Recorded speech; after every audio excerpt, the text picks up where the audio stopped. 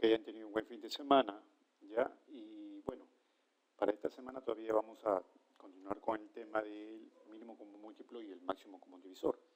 Eh, la semana pasada hemos visto ejercicios, hemos visto la parte teórica y los ejercicios, ¿no? algunas aplicaciones. ¿sí? El día de hoy vamos a continuar.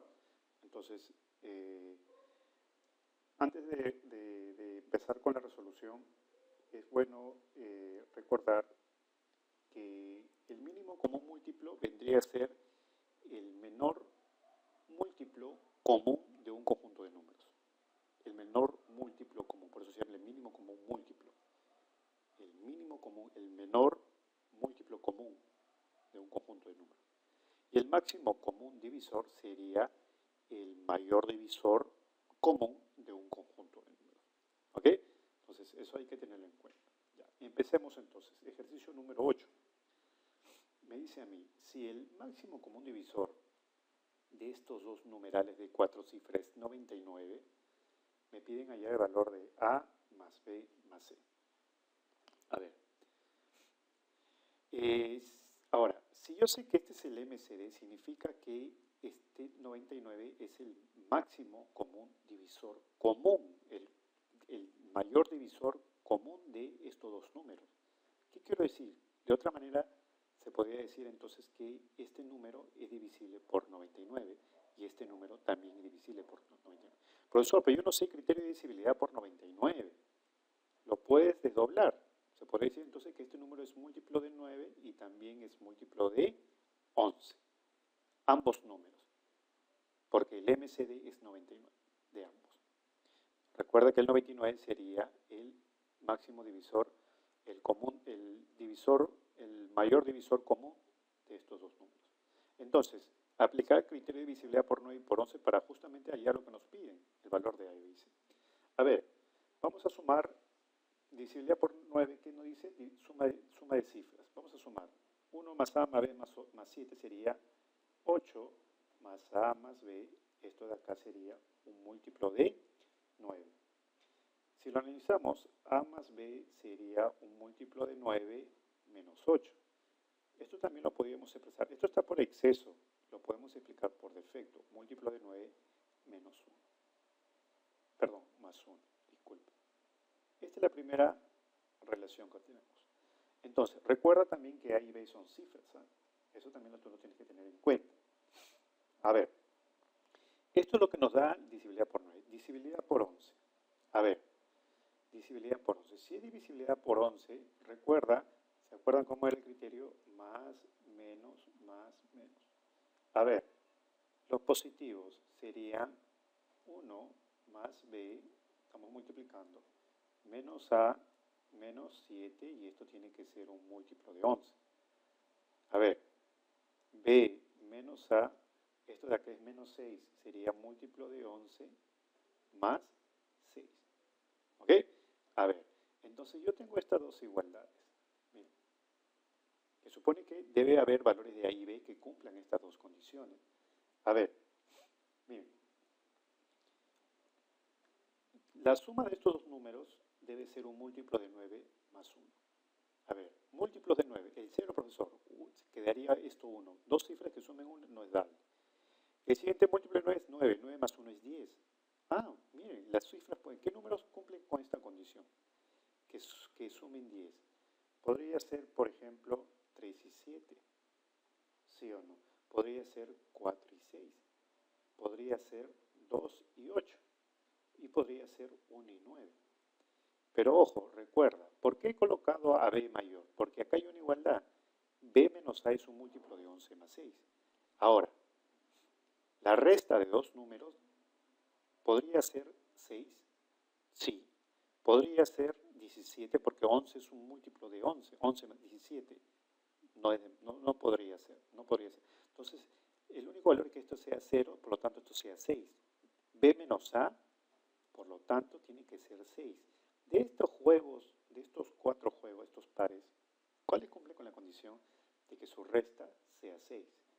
Este no, porque su resta es 4. Este tampoco su resta es 2, pero este sí cumple y este no cumple. Por lo tanto, B vale 8 y A vale 2. Ya tengo el valor de B, ya tengo el valor de ¿Qué me falta? Hallar el valor de C. Y eso lo tengo que hallar utilizando este número que todavía no he utilizado. Vamos a hacer divisibilidad por 9. A ver, sume cifras sería 1 más C, vamos a hacerlo de negro mejor para diferenciarlo, 1 más C más, sumo cifras, 1 más C más B más 3 es múltiplo de 9. Suma, sería entonces, vamos a operar, sería C más B es múltiplo de 9 menos 4. Tengo esta relación, acá está. ¿Sí? Ahí está. O también si quieres lo expresas C más B, eso está por defecto, múltiplo de 9 más 5. Cualquiera de los dos. ¿Ya? Pero vamos a trabajar con este que es más fácil, creo. Y el otro criterio es divisibilidad por 11. Sería más, menos, más, menos. ¿Sí? Entonces, divisibilidad por 11 sería entonces de la siguiente manera. A ver, lo positivo sería 1 más b ¿sí? El otro sería menos C, menos 3 y el otro sería múltiplo de 11. ¿Sí? Yo llego a esta conclusión. Mira, vamos a colocar así. B menos C debe ser igual a múltiplo de 11. Esto de acá es menos 2, pasa al otro lado sumando, más 2. Pero recuerda, habíamos hallado el valor de B. B vale, ¿cuánto? 8. 8 menos C es un múltiplo de 11 más 2. Ahí está. Esta es una igualdad que me va a servir. A ver. Miren. Ya, y nos falta eh, nada más. Solamente, mira, acá tenemos esta, esta igualdad y esta igualdad. Ahí está. ¿Mm? Ahora, vamos a, a reemplazar algo acá. Mira, vamos a traer esto de acá y vamos a reemplazar el valor de b, que ya sabemos. Sería c más b es igual a múltiplo de 9 más 5. Pero b vale 8. Sería c múltiplo de 9 más 5 menos 8. Este b pasa al otro lado. Sería c sería un múltiplo de 9 menos 3. A ver. Mira, tú tienes que verificar el valor de c tanto acá como acá. Ya. A ver, c es una cifra te pregunto, múltiplos de 9, el 0, te quedaría menos 3. ¿C puede ser menos 3? No, porque es un número negativo. Múltiplo de 9, un 9 sería 9 menos 3, 6. Sí, profesor, podría ser. Un múltiplo de 9 es 9 menos 3, 6. C podría ser. Otro múltiplo, 18, profesor, menos 3, 15. ¿C puede ser 15? No. Entonces, mira, C, hay una opción que C salga 6. Pero si lo verifico acá, debe cumplir. Si C vale 6, acá sería 2. Y 2 es un múltiplo de 11 más 2, sí, porque 11 sería un múltiplo de 11 es 0, más 2 es 2, 2 es igual a 2, por lo tanto verifica. Por lo tanto yo ya hallé la respuesta. Ya tengo el valor de A, el valor de B y el valor de C. ¿Cuánto suman? La respuesta sería 16. ¿Ya? Vamos al siguiente ejercicio. ¿Cuántos divisores tiene el menor, eh, ¿cuántos divisores tiene el menor de los múltiplos comunes de 72 88, 72, 80 y 42. A ver, muchachos, miren. Me está pidiendo el menor múltiplo común. Ahí están los tres números. El menor múltiplo con que es el mínimo común múltiplo. Claro, me están pidiendo el mínimo múltiplo, el menor múltiplo común de los números 72, 80 y 42. Entonces, ¿cómo hallamos el mismo múltiplo? Ya lo hemos visto por el descomposición canónica, que es la más fácil. A ver, 72.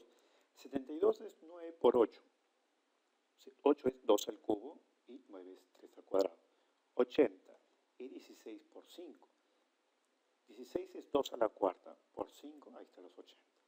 42 es 6 por 7. Este 6 es 2 por 3 y ahí lo colocamos ¿Cómo calculo el mínimo común múltiplo?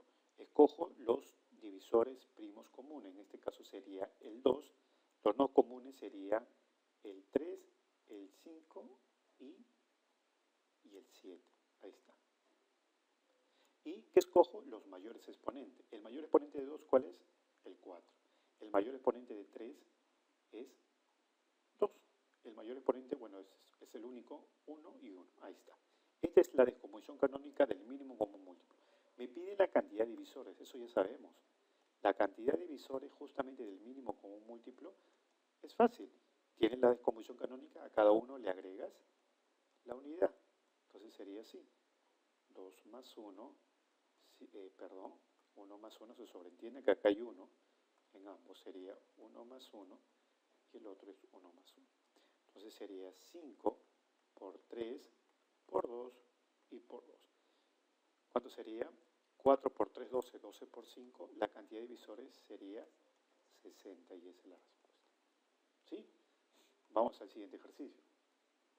¿Cuántos múltiplos comunes de cuatro cifras tienen los números 24, 50 y 60? Múltiplos comunes. Se supone que si hablamos de múltiplos comunes hablamos del mínimo común múltiplo, porque el mínimo común sería el menor múltiplo común. Pero de, se supone que si ya tengo el menor múltiplo común, a partir de ahí yo ya puedo saber cuáles son los otros múltiplos que podrían ser de dos, en este caso sería de dos cifras, sería luego de tres cifras, pero me piden los que son de cuatro cifras. Vamos a ver. Miren, entonces nuestro objetivo es hallar el mínimo común múltiplo de 24, 50 y 60. Entonces, hagamos la descomposición canónica. De 24 sería 8 por 3, pero 8 es 2 al cubo por 3. 50 sería 2 por 25, sería 2 por 5 al cuadrado, descomposición canónica. 60 sería 12 por 5, pero 12 es 2 al cuadrado por 3 por 5. ¿Ok? Ya tengo la descomposición canónica. ¿Cómo sería el mínimo común múltiplo? A ver, el mínimo común múltiplo sería las bases, eh, los divisores comunes 2 y, y, luego vienen los no comunes que sería el 3 y el 5. A ver, el, y los mayores exponentes. Para 2 sería 3, para 3 sería 1 eh, y para 5 sería 2. Entonces, ya tengo, ¿cuánto sería el mínimo como múltiplo? No voy allá a cantidad de divisores, de frente nomás. A ver, me están pidiendo, yo, a mí me interesa calcular el mínimo como múltiplo. A ver, el número sería 8 por 3 por 25.